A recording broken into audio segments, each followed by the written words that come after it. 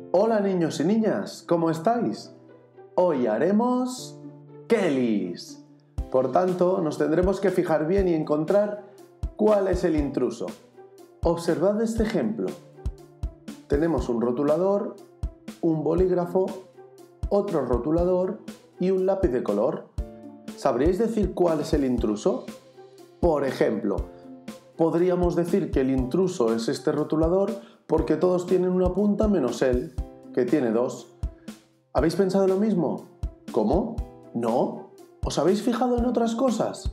Correcto. Si nos fijamos en el material, este es el único que no es de plástico, es de madera. Seguro que podemos encontrar más argumentos, pero un momento, centrémonos. ¿Y si proponemos una Kelly con un contenido más matemático?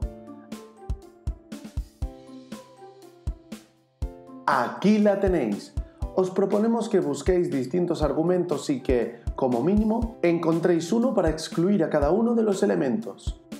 En el próximo vídeo lo hablamos. ¡Hasta luego!